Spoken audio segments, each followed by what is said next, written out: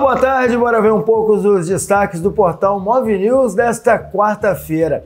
A Polícia Rodoviária Federal começa à meia-noite desta quinta-feira a Operação Independência em todas as rodovias federais. Portanto, se você vai viajar, fique atento e faça a revisão no seu veículo. E o mais importante, se você beber, meu amigo, não dirija.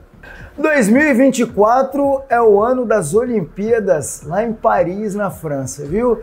E as equipes já começam a se mexer para poder se classificar para os Jogos Olímpicos. A seleção feminina de vôlei já tem os seus adversários que vai enfrentar durante esse pré-olímpico. E a lista está lá no nosso portal. Corre lá e dá aquela conferida.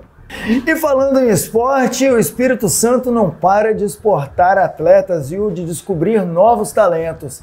Após ouro em um torneio que aconteceu em São Paulo, uma ciclista capixaba de apenas 17 anos de idade chamou a atenção da seleção brasileira da modalidade. Quer saber quem é? Tá lá no nosso portal. Se você quiser saber mais, acesse agora movenews.com.br e fique ligado nas nossas redes sociais. Até a próxima!